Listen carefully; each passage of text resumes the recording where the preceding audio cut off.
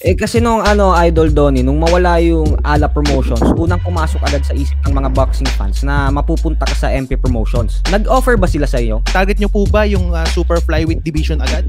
Open ka ba kung hindi si Estrada, hindi si Gonzales, si Ayoka, kung si Angkahas at isa na naman Pilipino ang uh, itambal sa'yo o i-match sa'yo? Powercast Sports. If you're new here, don't forget to subscribe and hit the notification bell.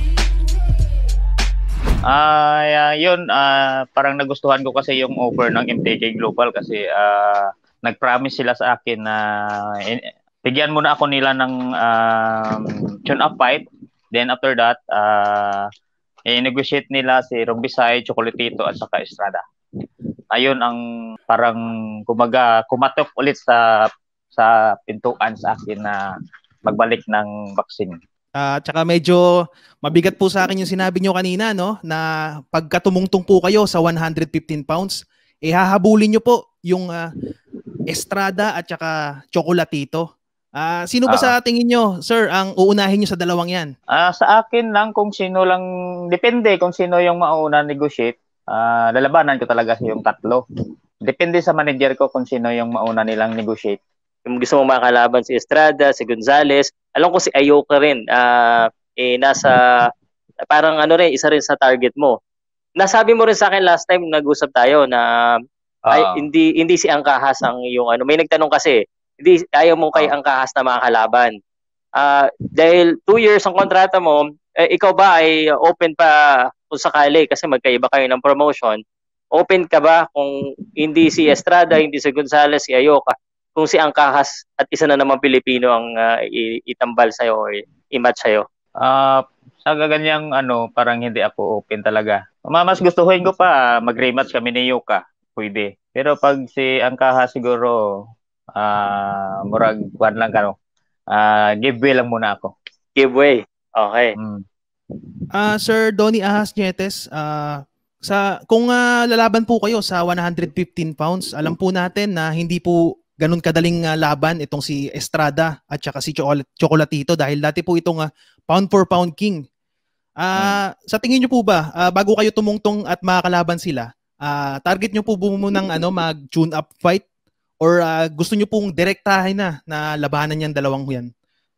Uh, yes, uh, tune up fight muna kasi yung sabi ng manager ko, uh, bigyan ako muna ng tune up fight bago i-negotiate nila yung three big names and Superfly. Okay, uh, Sir Donny, kung sakali naman po na bigyan kayo ng uh, isang Filipino uh, opponent, meron po ba kayong uh, gustong i-challenge or gusto nyong uh, uh, makabakbakan kung sakali? Meron po ba kang ganun? Sa Filipino? Ano yan? But title fight pa yon or tune up fight? Ah, uh, kahit tune up fight lang po kasi pagka Filipino po kalimitan ng nakakabangga ng isang Pinoy, ah uh, nakikita ko po yung lakas eh tulad po ng isang John Real Casimero nung naharap niya nakaharap niya si Sultan. Kumbaga uh, nagising yung isang uh, ano eh uh, Casimero pero kayo po uh, pwede, baka may pwede. may magandang bakbakan pong uh, Pinoy para sa inyo. Yes, uh, pwede pag tune up fight siguro, pwede siguro. Filipino, okay. Filipino, pwede siguro, pwede. Pag tune up fight lang. Pero pag title fight na, wag ah. Eh, sisingit lang ako mabilis kasi nabanggit yung ano, uh, yung uh, Roman Gonzalez tsaka Juan Francisco Estrada talagang medyo imposible na makalaban mo sila this year or siguro January baka second quarter of next year.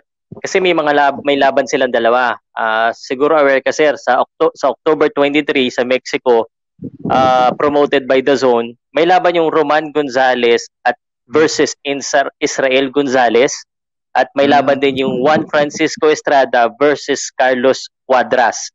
Makahingi lang ako ng opinion mo doon sa laban na yon at kung sakali ba na matalo yung mga hinahamon mo, sila pa rin ba yung gusto mong makalaban o yung may belt na ang bago mong hahabulin? Sila pa rin sila pa rin kasi matagal ko na talaga silang gustong kalabanin eh. So, win or loss sila, gusto silang gusto ko silang kalabanin. Oh, pero walang At title, saka, kahit walang title. Oh, kahit walang title, sir. Kahit walang title, sir. Ah, uh, Sir Donny, uh, na-curious lang ako, no? Uh, since ito naman yung dalawang gusto mong makalaban simulat sa pool eh si Chocolatito at na, alam ko hinahabol-habol mo yan dati pa. Ano kaya yung tatlo, main reason? Tatlo, tatlo. Tama, uh, tatlo po sila, 'di ba? Uh, ano ano po kaya yung pinaka main reason bakit hindi matuloy-tuloy yung dati na bakit hindi natuloy yung dating laban? Iwan ko pa, hindi ko hindi ko alam. Siguro umiiwas din sila siguro at saka uh, siguro maliit yung makukuha nila kaya umiiwas sila sa akin. Pero ngayon, uh, mal- ma- malaking kutob ko na may promote talaga ng NTP Global kasi uh, malaking promotion to. So, pwede, ni, pwede nito na maopera ng malaki para lang lumaban sa akin. Apo, Sir Donny, kung sakali ba na natuloy yung nakaraan, uh, kung, kung sakali lang po bibigyan kayo ng opportunity noon, ha, willing po ba kayo minsan dayuhin sila mismo sa sarili nilang lugar? Halimbawa, uh, si Chocolatito, Nicaragua, handa niyo handa niyo po bang pasukin yung lugar niya para lang makakalaban siya? Ah, uh, yan ang ano yung uh, yung hindi ko gusto. Ang gusto ko neutral talaga. Kasi ma, hindi natin maiiwasan na ma-hometown tayo diyan eh. Uh, I remember the uh, 2004 uh, nung lumaban ako sa Indonesia na panalo sana ako kaso lang na hometown din ako so yun ang pinag-iiwasan ko na hindi ma mayangyari ulit. Ako uh, in terms of uh, matchmaking uh, mas magiging matalino po kayo. Bilib po ako sa inyo uh, sir ha? napakagaling nyo po sumagot sa questions. Salamat po. Thank you. Powercast Sports. If you're new here, don't forget to subscribe and hit the notification bell.